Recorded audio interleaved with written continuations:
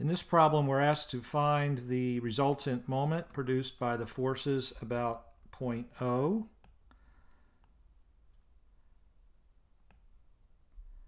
So let's look at the figure.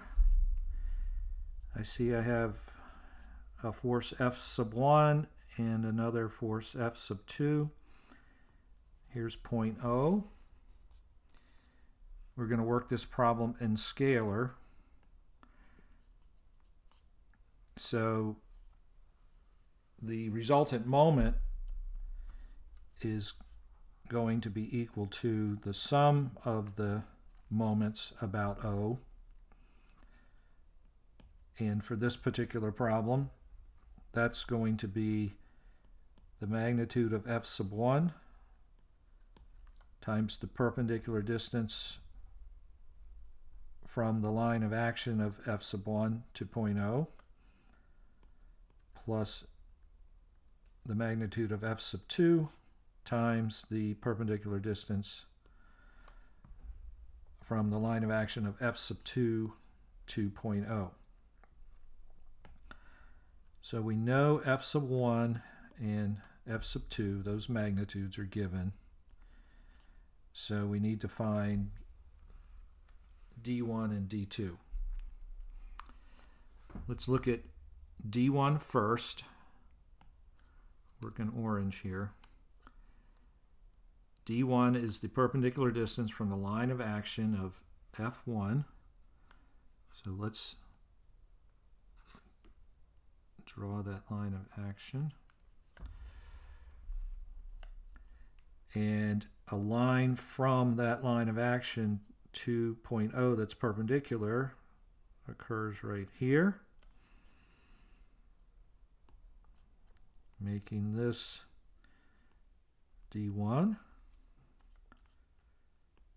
We know it's perpendicular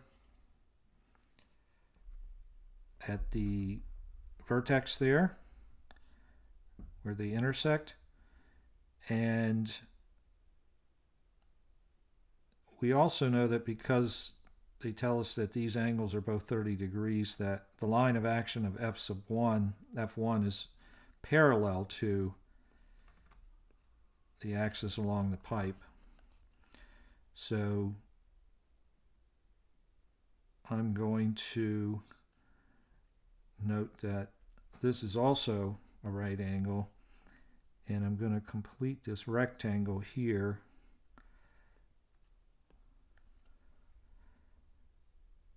where this side of the of this triangle is gonna, going to also be d sub 1. It's equal to the distance down here of d sub 1 because definition of a rectangle. And I can determine that this is a 30 degree angle, this is a 60 degree angle. So now I can get D1 because I know the hypotenuse of that triangle. So the moments the sum of the moments, I'm going to assume counterclockwise moments are positive, equals F1 times D1, which I can express as 6 cosine 30. And I need to look at should this is this a should this be a positive or negative moment. So I look at F1 with respect to point O, and it's creating, trying to rotate counterclockwise. So this will be a positive. So I'm good with my first moment that's formed by F1, that's composed of F1, D1. Now let's look at D2. I'll do that in purple we need the line of action of F2, which goes like that. Perpendicular distance from F2, the line of action of F2 down to point O is right there. That's a right angle, so I have a right triangle here. whose hypotenuse I know is 6 feet. I have the 30 degree angle there. And let's mark D2 before we forget. So here's D2. It's that adjacent side to the 30 degree angle in the right triangle. So I can write the second part of my moment equation and I need to decide if this is going to be a positive or negative moment and I look at F2 with respect to O and see that it's also trying to cause a counterclockwise rotation around point O. So it's going to get a positive sign. Magnitude of F2 is 200. And D2 is also 6 cos 30.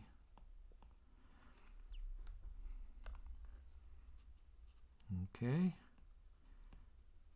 So the sum of the moments about 0.0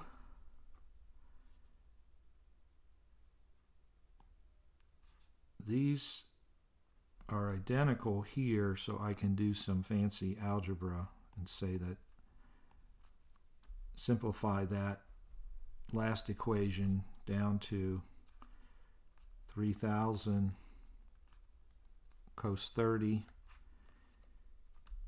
so the sum of the moments about O equals, I do that math on my calculator, 2,598.076. I round to three significant figures. I get 2,600.